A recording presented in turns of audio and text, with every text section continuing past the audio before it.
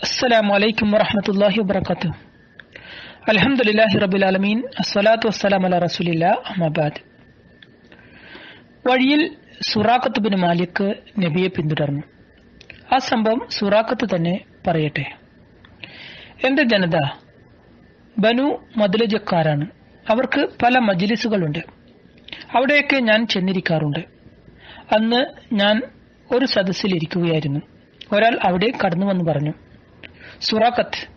ഞാനിപ്പോൾ കടൽ തീരത്ത് ചില ആളുകളെ കണ്ടു. അത് മുഹമ്മദും കൂട്ടരുമാണോ എന്നൊരു സംശയമുണ്ട്. അത് അവർ തന്നെ എനിക്കുറപ്പായി.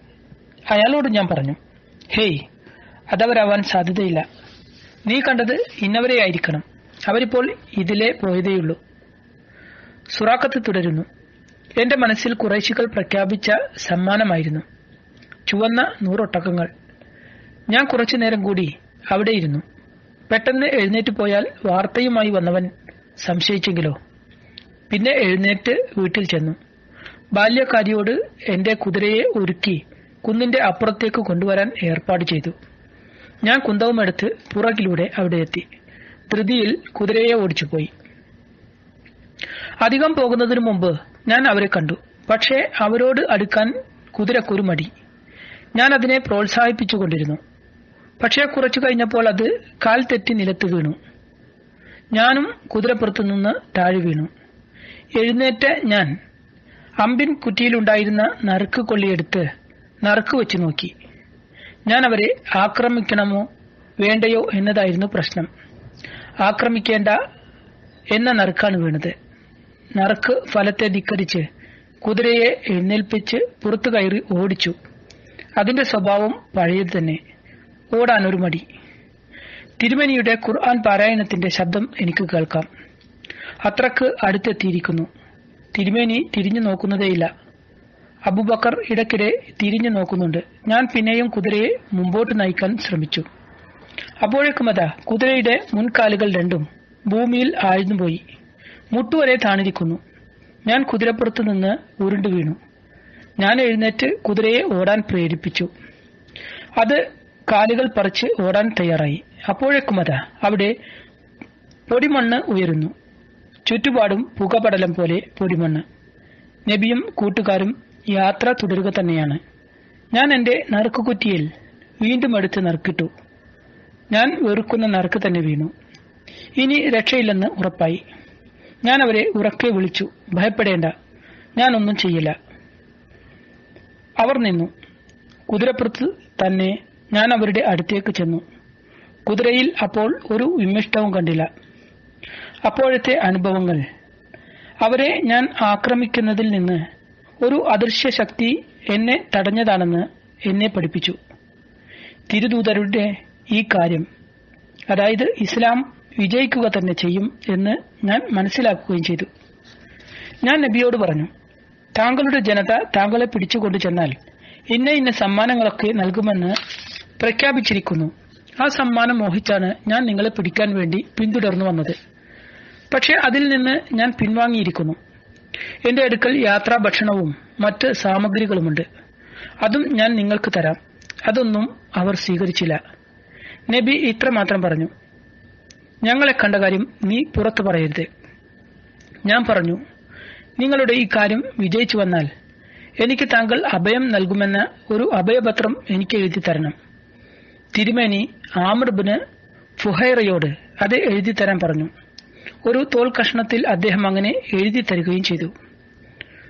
റസൂൽ സല്ല അലിസ്ലം പിന്നെയും യാത്ര തുടർന്നു. അബൂബക്കർ പറയുന്നു സ്വറാക്കത്ത് മാത്രമാണ് അന്വേഷകരുടെ കൂട്ടത്തിൽ ഞങ്ങളുടെ അടുത്തെത്തിയതും തിരിച്ചറിഞ്ഞതും. അദ്ദേഹത്തിന്റെ കുതിര ഞങ്ങൾക്ക് അടുത്തെത്തിയ എത്തിയപ്പോൾ ഞാൻ റസൂലിനോട് പറഞ്ഞു റസൂലെ ഈ അന്വേഷി ഇതാ നമ്മുടെ അടുത്തെത്തിക്കഴിഞ്ഞു തിരുമേനി സല്ലാ സ്വലം പറഞ്ഞു അബൂബക്കർ വിഷമിക്കാതിരിക്കൂ. അള്ളാഹു നമ്മുടെ കൂടെയുണ്ട്. സുറാക്കത്ത് മടങ്ങി. ജനങ്ങൾ അദ്ദേഹത്തോട് പലതും ചോദിച്ചു. നബിയെ കണ്ട വിവരം അദ്ദേഹം പറഞ്ഞില്ല. മറ്റൊരു സംഭവം. ഗുസാത്ത് ഗോത്രക്കാരിയായ ഉമ്മു മഹബദിന്റെ രണ്ട് കൂടാരങ്ങൾക്ക് അരികിലൂടെയായിരുന്നു നബി സല്ല അലൈഹി സ്വലമയുടെ യാത്ര. ആ സ്ത്രീ ധീരയും ധർമ്മിഷ്ഠയും ധാരാളം പരിവാരങ്ങളുള്ളവരുമായിരുന്നു. അവർ കൂടാരത്തിന് വെളിയിൽ മുറ്റത്ത് വന്നിരിക്കും. അതിലൂടെ പോകുന്നവർക്കെല്ലാം ഭക്ഷണപാനീയങ്ങൾ നൽകുകയും ചെയ്യും. പക്ഷേ ആ വർഷം ക്ഷാമവർഷമായിരുന്നു. വറം ബാധിച്ച് ഒന്നുമില്ലാത്ത സ്ഥിതിയിലായിരുന്നു. ആടുകളുടെ കറവ വരെ വറ്റിപ്പോയിരിക്കുന്നു. തിരുമേനിയും അബൂബക്കറും അവരോട് എന്തെങ്കിലുമുണ്ടോ എന്നന്വേഷിച്ചു അവർ പറഞ്ഞു ഞങ്ങളുടെ അടുക്കൽ എന്തെങ്കിലും ഉണ്ടായിരുന്നുവെങ്കിൽ തീർച്ചയായും ഞങ്ങൾ നിങ്ങളെ സൽക്കരിക്കുമായിരുന്നു. പക്ഷേ ഒന്നുമില്ല. കൂടാരത്തിനരികിൽ ഒരാടിനെ നബി സല്ലല്ലാഹു അലൈഹി വസല്ലം കണ്ടു. അവിടുന്ന് ചോദിച്ചു ഈ ആടിനെന്തു പറ്റി? അവർ പറഞ്ഞു ക്ഷീണം കാരണം മറ്റ് ആടുകളുടെ കൂടെ പോകാൻ പറ്റാത്തതിനാൽ ഇവിടെ നിർത്തിയിരിക്കുകയാണ്. നബി സല്ലല്ലാഹു അലൈഹി വസല്ലം ചോദിച്ചു അതിന് പാലുണ്ടോ? അവർ പറഞ്ഞു ആ കാര്യത്തിലും അത് മോശമാണ്. നബി ചോദിച്ചു അതിനെ കറക്കാൻ അനുവാദം തരുമോ? ഉമ്മുമ അബദ് പറഞ്ഞു അതിനെന്താ? കറക്കാൻ കഴിയുമെങ്കിൽ കറന്നോളൂ. തിരുമേനി സല്ലാസ്ലം കൈകൊണ്ട് അകിടിൽ തടവി. ബിസ്മി ചൊല്ലി. അള്ളാഹുവിനോട് പ്രാർത്ഥിച്ചു. അകിടിൽ പാൽ നിറഞ്ഞു. തുള്ളിയായി ഉറ്റാൻ തുടങ്ങി. നബി അലൈഹി പാത്രം കൊണ്ടുവരാൻ കൽപ്പിച്ചു. ഒരു വലിയ പാത്രമാണ് കൊണ്ടുവന്നത്. ആ പാത്രം നിറയെ കറന്നു. ഉമ്മ മഹബദും കൂടെയുള്ള പരിവാരങ്ങളും നബിയും കൂട്ടുകാരുമെല്ലാം മതിയാവോളം കുടിച്ചു. രണ്ടാമതും ആ പാത്രം നിറയെ പാൽ കറന്നു കൊടുത്ത് തിരുമേനിയും സംഘവും സ്ഥലം വിട്ടു. കുറച്ചു കഴിഞ്ഞ് ഭർത്താവ് അബു മഹമ്മദ് മെലിഞ്ഞൊട്ടിയ കുറെ ആടുകളെയും തൊളിച്ചെത്തി പാത്രം നിറയെ പാൽ കണ്ട് അദ്ദേഹം അത്ഭുതപ്പെട്ടു. അദ്ദേഹം ചോദിച്ചു ഇതെവിടുന്ന് കിട്ടി? ആടുകളുടെ പാലൊക്കെ വറ്റിപ്പോയിരിക്കുന്നു. വീട്ടിൽ പാൽ സൂക്ഷിച്ചിട്ടുമുണ്ടായിരുന്നില്ല. പിന്നെ ഇതെങ്ങനെ കിട്ടി?